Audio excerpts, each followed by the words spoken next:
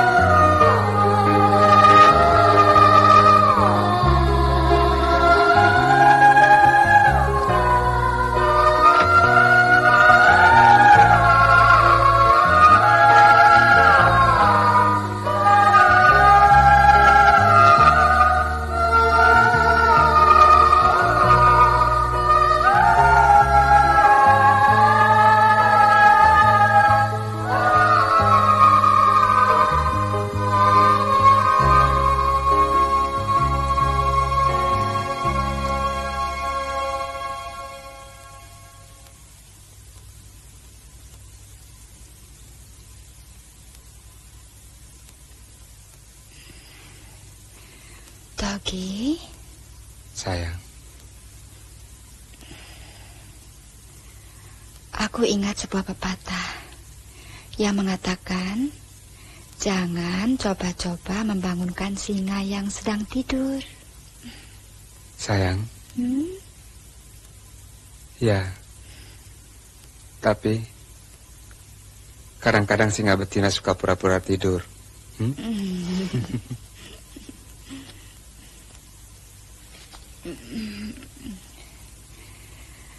Kau memang tahu itu dari pengalamanmu dengan Tuti dan Evi. Eh, Apaan sih? Loh, kenapa harus marah? Itu kan kenyataan. Sudah, kita selesai sampai di sini saja.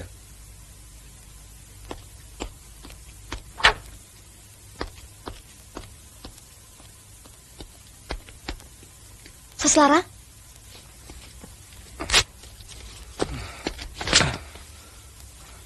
Kayak anak kecil aja lu.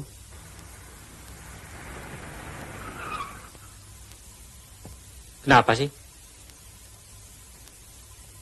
Makan yuk. Saya nggak makan.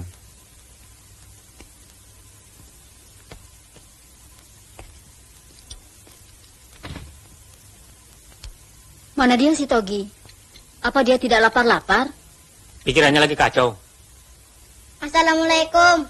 Waalaikumsalam.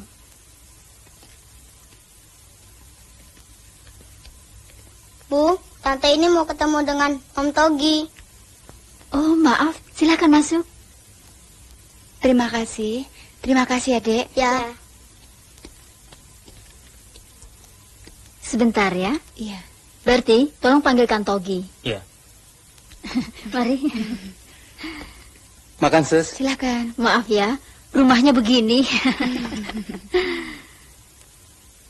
Togi. Dia datang. Siapa? Tuh, Buat apa dia kemari? kalau kau tak mau dia kemari, kenapa kau berikan alamatmu? Ayo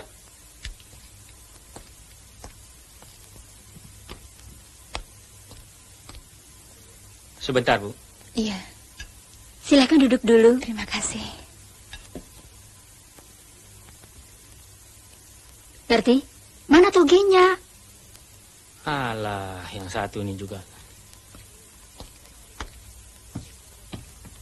Togi, turun mah Togi. Puasa di jauh-jauh dongolohu turun. Unang suruh hamu tamu ipet tehon.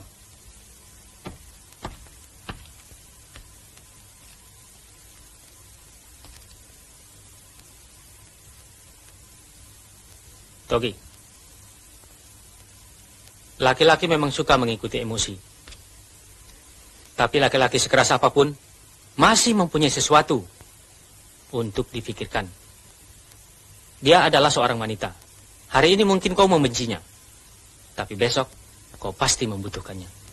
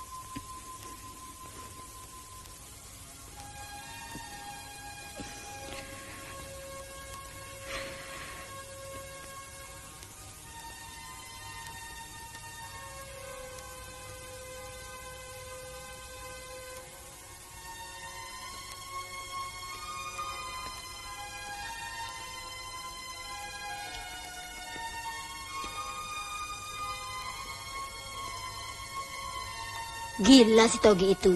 Dia tidak boleh begitu dong sama perempuan.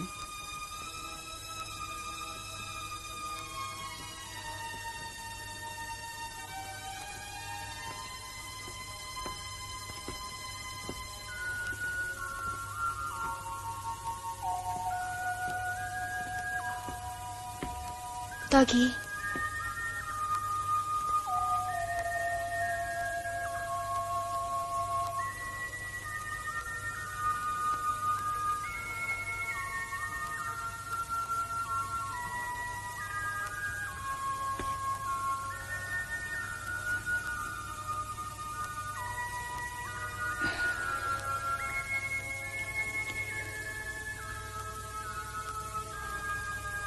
maafkan saya.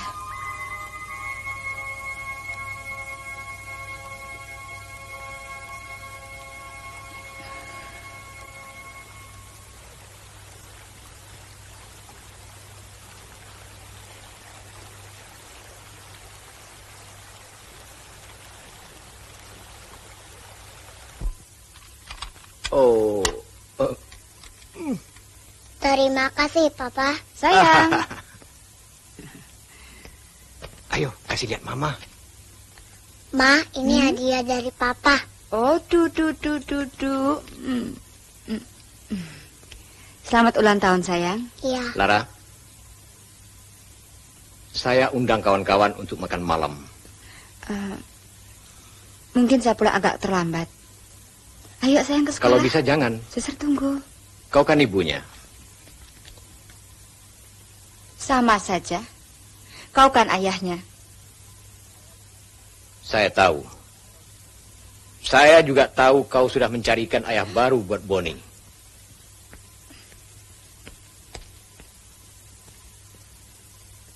Kenapa, Lara?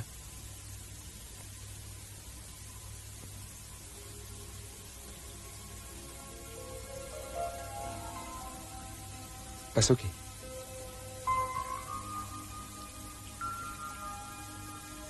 Seharusnya kita menyadari saat ini akan datang. Di mana Basuki akan mengetahuinya. Saya menyesal. Semuanya ini karena saya.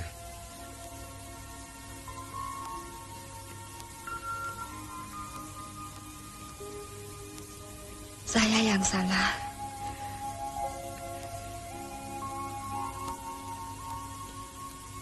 Bukan salahmu, Lara.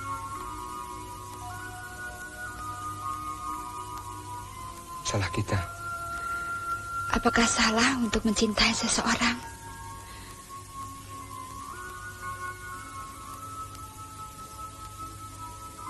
Saya hanya ingin kau bahagia. Saya berusaha untuk itu. Tapi jika... Maaf. Maafkan saya, sayang.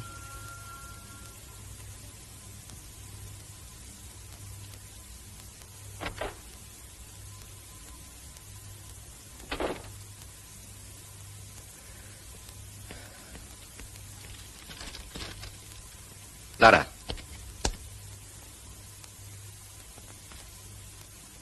Lara, saya ingin bicara.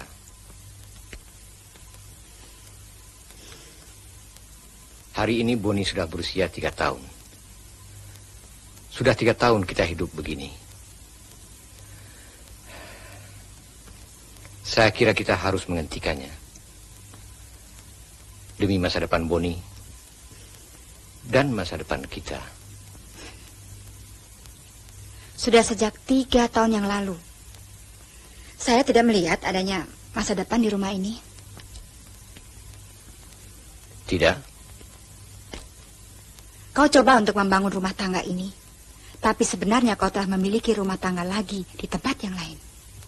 Baik. Saya akui saya bersalah. Dan saya ingin memperbaiki kesalahan itu. Itu urusanmu. Jika saya sudah tidak berharga lagi bagimu,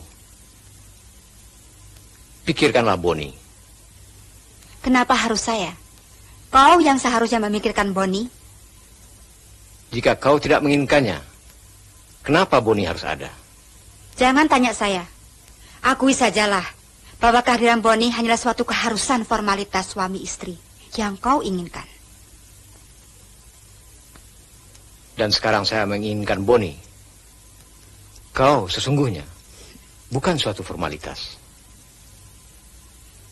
Tidak ada gunanya. Saya akan pergi dengan Boni. Untuk Togi, Apa itu penting untuk kau ketahui? terus terang Lara, saya tidak yakin kau akan mencintainya jika kau mengetahui siapa sebenarnya dia.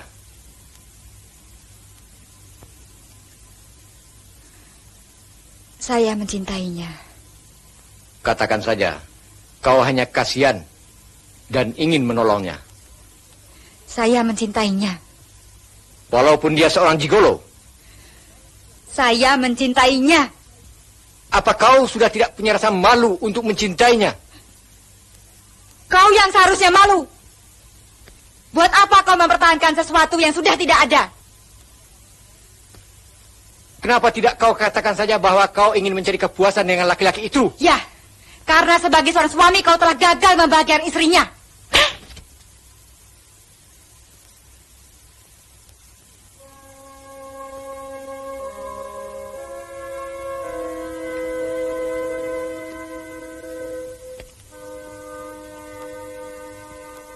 Mengapa sampai begini terlambat, Basuki?